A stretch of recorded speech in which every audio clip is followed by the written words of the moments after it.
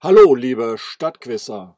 Wenn heute in Düsseldorf jemand von Turo spricht, dann meint er damit den Fußballverein bzw. den ehemaligen Handballverein aus Düsseldorf-Oberbilk. Die Fußballer spielen heute in der Oberliga Niederrhein und das Stadion liegt an der Feuerbachstraße. Turo ist die Abkürzung für Turn- und Rasensport Union 1880 e.V. Düsseldorf. Und dieser Verein besteht also aus äh, mehreren anderen Vereinen, die sich 1919 fusionierten. Äh, und zwar waren das die Vereine Düsseldorf FK, also Fußballclub Union, VfR Düsseldorf und Friedrichstädter TV 1880. Daher stammt auch das ältere äh, äh Datum im Vereinsnamen.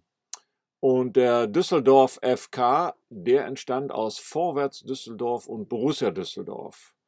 Und der VfR Düsseldorf, der hieß bis 1916 SC Athen Düsseldorf, also international. Ja, das wäre die Frage zu Turo und die neue Frage lautet, was ist denn in Düsseldorf der Schwanenspiegel?